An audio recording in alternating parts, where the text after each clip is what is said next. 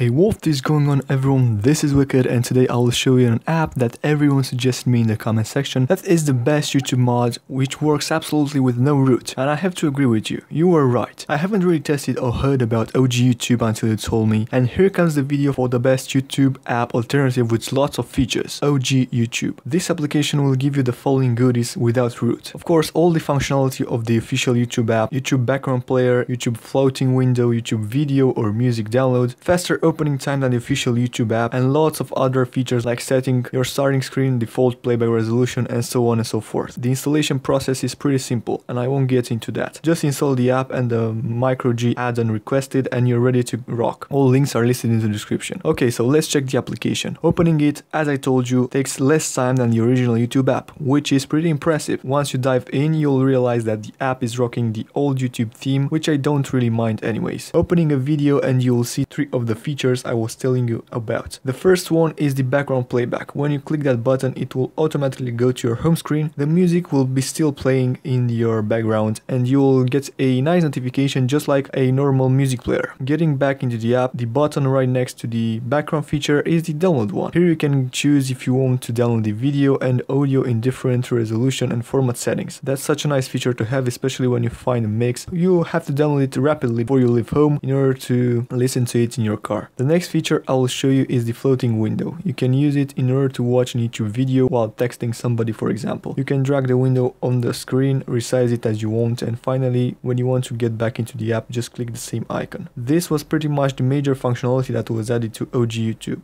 Of course, along with it, you can see a download manager, an advanced settings menu which will allow you to set up different minor features like the screen you want the app to start on, download folder, number of downloads and so on and so forth. So the conclusion of this video would be that I was really surprised on how great of an app this OG YouTube is and I have to admit it is an outstanding YouTube app alternative. That was the review for today, I hope you like it. If you did, please make sure you click that thumbs up button and subscribe right on my channel. Until next time, take care. Wicked is out. Bye bye.